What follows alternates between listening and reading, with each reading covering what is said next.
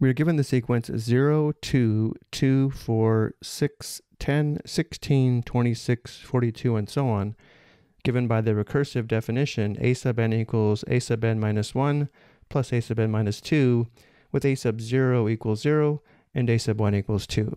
We're asked to find the first few terms of the sequence of partial sums. To begin, s sub 0 is equal to the sum of the first term, or just the first term, a sub 0, s sub 0 is equal to a sub 0, which is 0.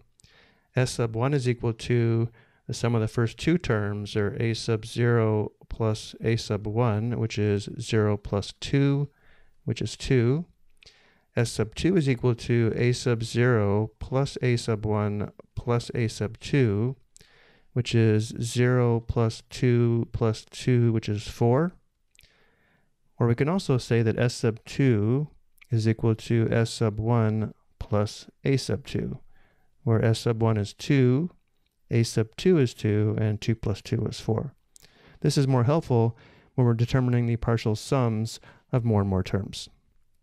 s sub 3 is equal to a sub 0 plus a sub 1 plus a sub 2 plus a sub 3, which is equal to 0 plus 2 plus 2 plus 4, which is equal to 8, or s sub 3 is equal to s sub 2 plus a sub 3, which is equal to 4 plus 4, which is 8.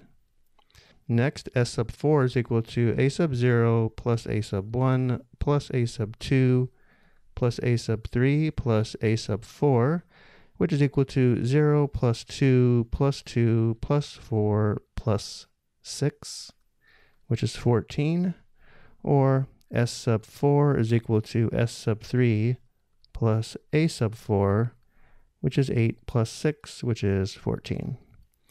And finally, s sub 5 is equal to a sub 0 plus a sub 1 plus a sub 2 plus a sub 3 plus a sub 4 plus a sub 5, which is equal to 0 plus 2 plus 2 plus 4 plus 6 plus 10, which is 24. Or we can say s sub 5 is equal to s sub 4 plus a sub 5, which is 14 plus 10, which is 24. For part B, we're asked to determine a formula for s sub n expressed in terms of a single term from the sequence given by a sub n. To do this, let's list out the first several terms of the original sequence right above the terms of the sequence given by the partial sums.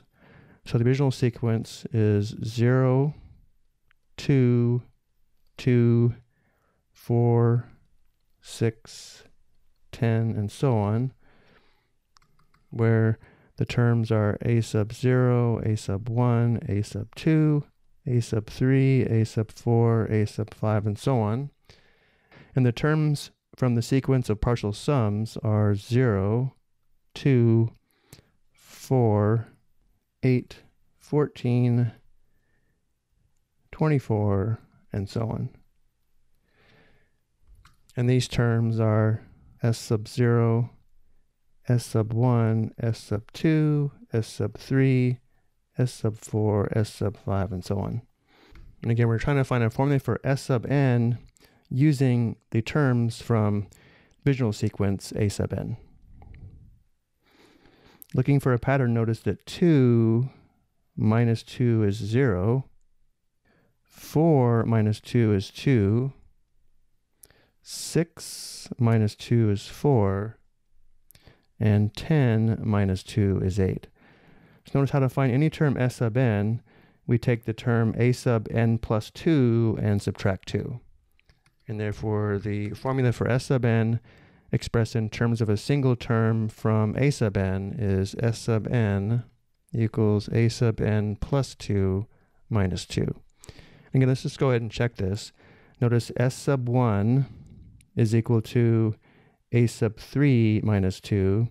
s sub 2 is equal to a sub 4 minus 2.